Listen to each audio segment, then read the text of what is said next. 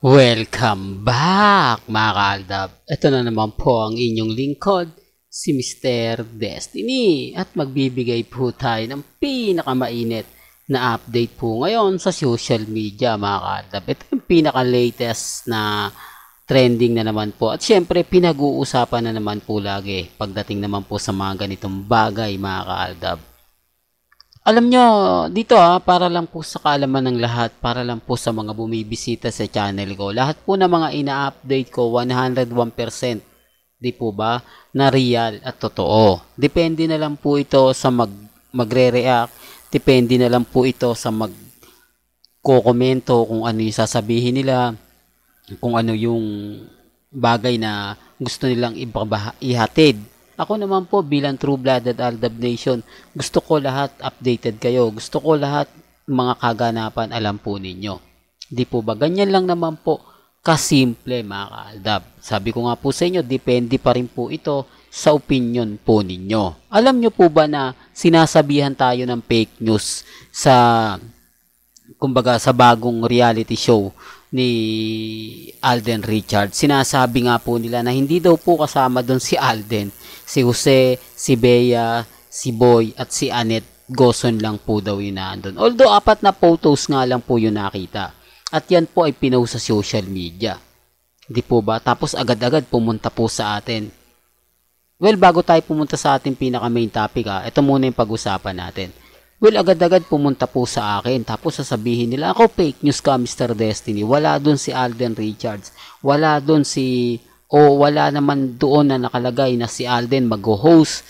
Kumbaga, nililin lang mo lang yung mga Alden fanatics, nililin lang mo lang yung mga fans ni Alden para makakuha ka ng viewers, para makakuha ka ng simpatya, para dumami yung viewers mo, ginagamit mo si Alden. Alam niyo sa totoo lang, hindi ko alam mga kaaldab kung itong bang mga taong to ay talagang sobrang bitter sa Aldab kasi hindi naman po talaga sila alam eh. Wala naman po talaga silang alam. Magaling lang po talaga sila mag-react. Magaling lang po sila mag-comment. Tinitignan lang nila yung mga posts. Pero hindi naman po sila nagre-research eh. Hindi po ba? Totoo naman po. Alam nyo kung titingin po kayo sa isang bagay, hahanapin nyo yung sinasabi ko sa GMA website, hindi nyo na yan makikita. Kasi araw-araw po nag-upload ng sampu yan eh. Di po ba? kapag ka nag-upload po sila ngayon, matatabunan yun eh. Mapapalitan yung kahit anong hanap mo, kung nag tinatamad ka rin, hindi mo siya makikita. Kailangan mo siyang hanapin simula sa baba hanggang pataas. Di po ba? Kasi natatabunan yan eh. Kada upload ng website, may papailalim na yan. Hindi nyo mo na yan makikita. Kaya sasabihin nyo fake news si Mr. Destiny. Di po ba? Hindi po katulad ko na updated na updated po ako. Once na makita ko yan, magpapa po sa cellphone ko yan, eh agad-agad ibabalita ko po sa inyo yan. Ganun po tayo kabilis at ka kumbaga ka yung tipong ka-updated pagdating po sa Instagram, sa Twitter, sa Facebook. Kaya lang syempre taliwas po sa iba. Kasi sinasabi nila wala daw fake news lang daw po yun etc. etc. Di po ba? Yun naman po kasi yung ginagawa nila eh.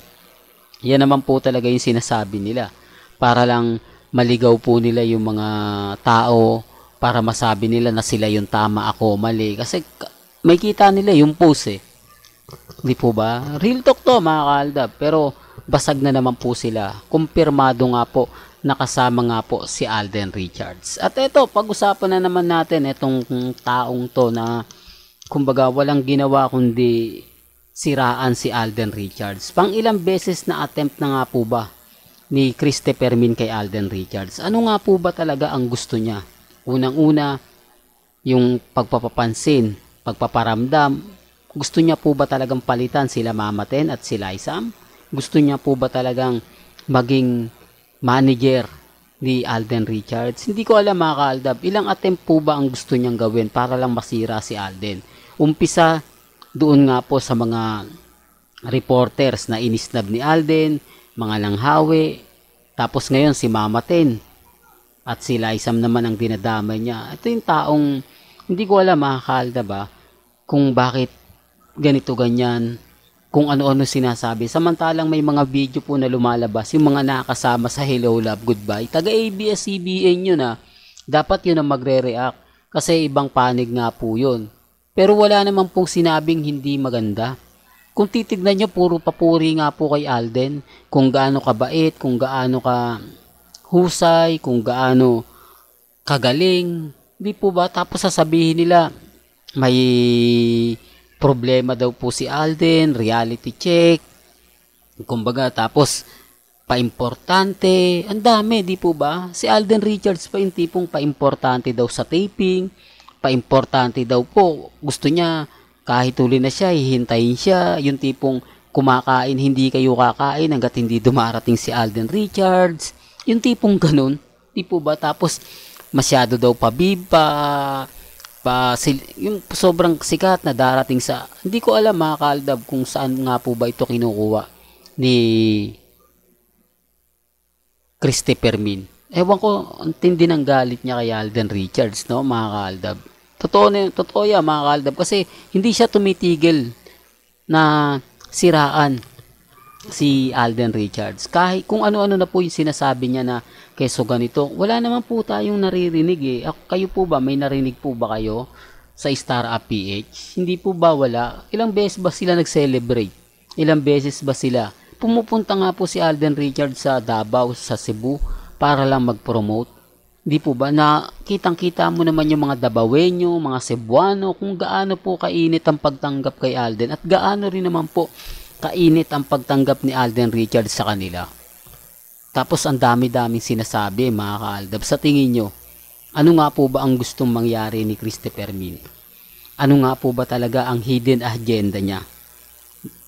Real talk mga kaaldab, gusto niya lapitan siya ni Alden, gusto niya puntahan siya dyan mismo ni Alden Richards, gusto niya interviewin niya si Alden Richards ng one and one. Di po ba? Yan ang gustong gusto niya eh, yung gumagawa siya para lang kumbaga magpa-schedule si Alden. O oh, Christopher Min para sa mga issue na yan kakausapin kita. Naku buta hindi ba tuwan-tuwa po ito. Malamang yung mga aliporis niya na nag iimbestiga kuno eh ganyan di po ba? Gaya ng sinabi ko mga kaaldab gaya nga po ng ina-update natin mas marami po talagang manonood kay Christopher Min. Kasi ilang Ilan po ba yung subscriber niya sa Facebook? Ilan nga po ba yung subscriber niya sa YouTube? Lahat yan nanonood, di po ba? Lahat yan tumitingin po sa kanya. Normal lang yon na pagpepiestahan nga po talaga siya. Tapos tayo po yung fake news. Totoo yan mga kaldab. Ako yung fake news. Kasi sasabihin nila, konti lang kasi yung nanonood sa'yo. Ikaw yung fake news. Totoo, konti lang po nanonood sa atin dahil Aldab Nation lang po tayo. Mga true-blooded Aldab Nation lang po ang tanging nanonood at mga Alden fanatics na nagmamahal po kay Alden. At ganun din naman po kay Mengay. Kaya po ganun. Pero totoo naman po yung sinasabi ko na mapapaisip po kayo once na dumating po kayo sa channel ni Mr. Destiny. Diyan po malalaman nyo kung sino nga po ba talaga yung nagsasabi ng totoo at nagsasabi ng fake news.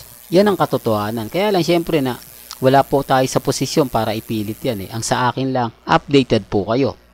Well, hanggang dito na lang po ang ating latest updates. Kaya kung gusto nyo pa po ng pinaka-latest at sariwang update, abay lagi lang po kayong tututok sa channel ni Mr. Destiny para updated po kayo sa mga latest at sa mga bagong video po na ilalabas po natin maya-maya lang. Kaya kung bago ka lang sa channel na to at isa kang true-blooded Aldab Nation na nagmamahal kina Mengay at Isoy, Tama po ang channel na pinuntahan mo kaya consider na po kitang bagong subscriber. At huwag mong kalimutang i-share ang mga video po natin ha, sa mga mamis, sa mga titas, at sa mga senyor. Hanggang sa muli, salamat po sa panonood at pakikinig.